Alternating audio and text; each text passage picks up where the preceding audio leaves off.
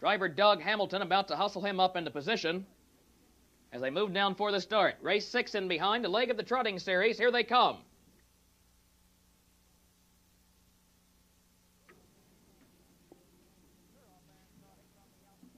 They're off and trotting from the outside. Chicory Wind is first away toward the inside of him. Follow My Fire out second. Down along the rail, trotting third, Priority Dave. Away four from the outside as they race toward the quarter is Call Me Tiger. Racing five, Dias Class. And from the outside, moving quickly, here comes Chicory Wind. He's not waiting, he's gunning toward the front. On the inside, Follow My Fire right with him. Those two head and head. They open up three lengths on the field. Trotting third along the rail, Priority Dave. Off the quarter and 29, they turn down the backstretch. Chicory Wind now backs up to find cover. He drops in, trotting second. The leader is Follow My Fire. Chicory Wind next. On the inside, Priority Dave trotting third. Four as they race down the backside is Call Me Tiger. Five is Dias Class. Six on the rail, Viv G. Lamont. Racing seven, Delray Cash. Eight, Meadow Glory is off stride. And Meadow Glory 20 lengths off the leader on a break as they race past the half mile station. They're driving toward the upper turn. Follow My Fire with the lead off the half and 59, but off the rail. Here comes Chicory Wind. He's right back out and flying once again. And Chicory Wind getting to the front.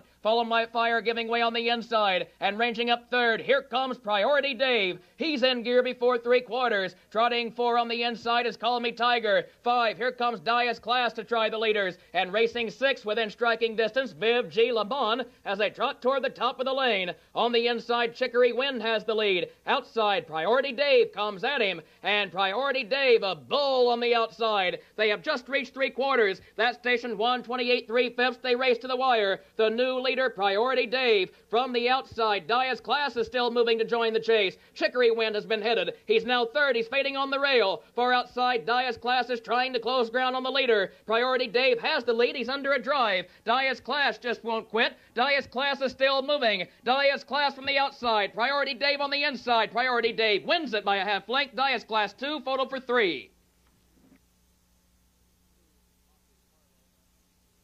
Monte Carlo that needs to be moved. It is in the parking garage.